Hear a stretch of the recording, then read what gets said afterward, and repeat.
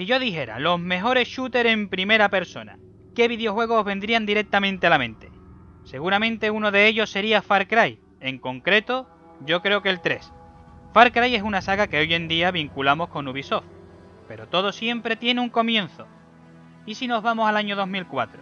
2004 no es un año cualquiera para los shooters en primera persona. Es un año en el que la gente esperaba ansiosa secuelas de grandes como Doom o Half-Life.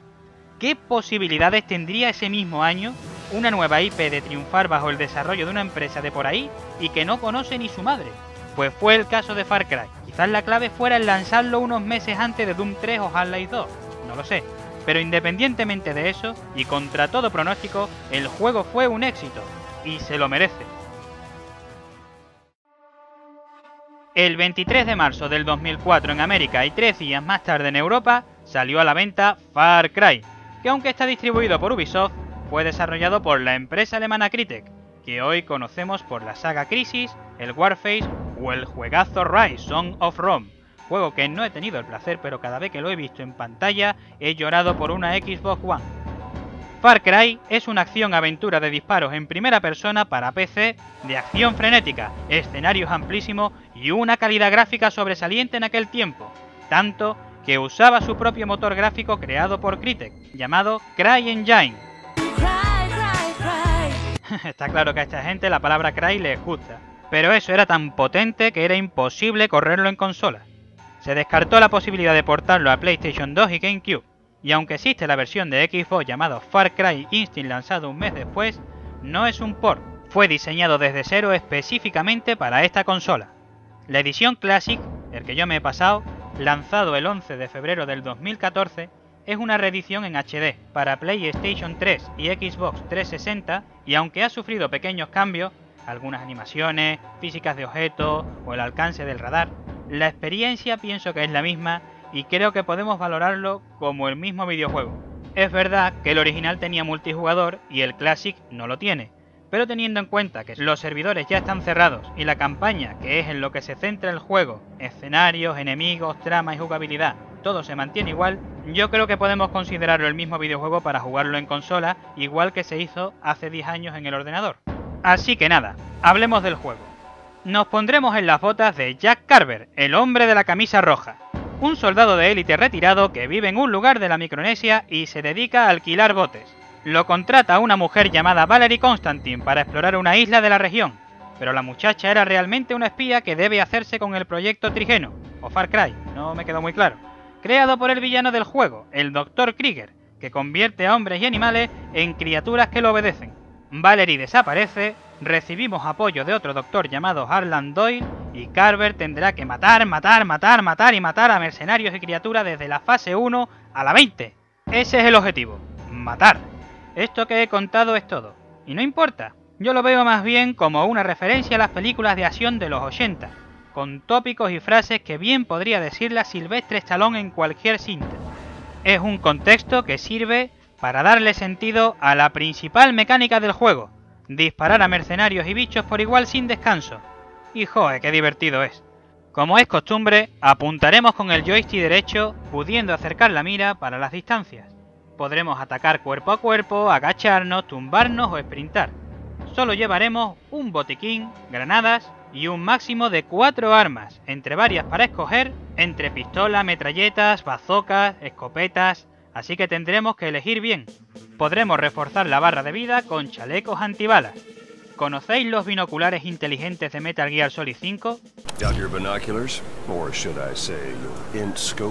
Pues Carver ya los usaba en Far Cry antes que Snake. No solo hacen de prismáticos, sino que señalaremos enemigos y escucharemos sus conversaciones. Herramienta realmente útil para distinguirlos entre la maleza. Y sí, en la primera parte ya podemos conducir lanchas y jeeps, aunque estos últimos se me hizo bastante complicado el manejo. Los escenarios exteriores son amplísimos, pudiendo alcanzar cualquier rincón y llegar al objetivo por donde queramos, ofreciendo tanta libertad que aunque sea un juego lineal, sientes como si estuvieras en un sandbox. La visión de los enemigos es muy amplia y su oído casi implacable, así que complica las situaciones de sigilo. Los mercenarios te acertarán a grandes distancias, te perseguirán, flanquearán y rodearán, Y muchos tipos de trigenos, unos que recuerdan a los Hunters de Resident Evil, te matan de dos golpes. Hay otros trigenos que disparan y se hacen invisibles o saltan por las paredes, o unos pesados y resistentes que te revientan. Así que es un juego complicado, con partes que pueden ser realmente difíciles. Es un juego que te obliga a ser rápido a la hora de matar y en el que te matarán mucho. Y aunque mientras avanzas se activarán automáticamente puntos de control, a veces puede resultar una desventaja porque te mantiene la barra de vida como la tengas y si estás muy herido podría complicarte aún más las cosas. Pero el juego es brutal, por poner un ejemplo, cuando aparecen los chirigenos y se enfrentan a los mercenarios y te ves en medio de una batalla campal, es la caña, o en los escenarios cerrados, cuando aparecen de conductos de ventilación y te dan el susto, con paredes ensangrentadas y cadáveres mutilados por el suelo, siente que estás en un auténtico juego de terror y el juego cada vez va a mejor. De hecho, como he dicho, el juego tuvo mucho éxito y las críticas fueron muy positivas. Tiene una secuela directa, lejos de Far Cry 2, llamada Far Cry Instincts Evolution, para Xbox y Xbox 360, lanzada por Ubisoft en el 2006, en la que vuelve Carver, que no sé cómo será porque no he jugado. Pero vamos, incluso sacaron la película, dirigida por el infame Uwe Boll, que, que yo no la he visto ni falta que me hace porque esto huele a caca. Pero es un detalle más de que el videojuego tuvo éxito. Y bueno, como curiosidad y último pequeño detalle, hablar de su doblaje al castellano, que aunque las voces no están muy bien alineadas con el movimiento de boca, es de buena calidad y muy bien interpretado, cosa que siempre es de agradecer. Vamos, sin ir más lejos, Jack Carver es Roberto Encinas, la voz de Chris Redfield, Nathan Drake, El Castigador, Dante de Dantes Inferno, ha participado en un montón de películas y videojuegos y es un doblador que a mí me gusta. Y escúchame, que en inglés es el malo de Blade, el mismísimo Frost, el único videojuego que ha doblado. Así que nada, teniendo en cuenta que es una de las sagas más prestigiosas de Ubisoft y de los videojuegos en general hoy por hoy, que ya entró pegando fuerte y con gran repercusión y siendo también el bautismo de fuego de Crytek o Crytek o como se diga, las pronunciaciones no son lo mío considero oportuno concederle la medalla de videojuego histórico.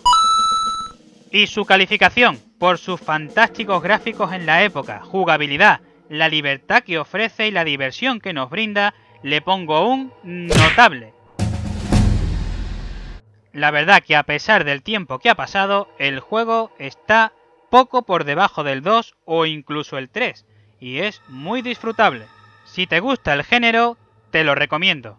Y si te gusta la saga, te obligo, pero eso siempre. A mí me da mucho coraje cuando llega alguien y dice, soy fan de tal saga, pero ha jugado al primero. Eh, no, solo he jugado a los dos últimos, farsante. En fin, si te ha gustado el vídeo, dale a like. Y si quieres quedarte, suscríbete. Hasta la próxima. Si la hay.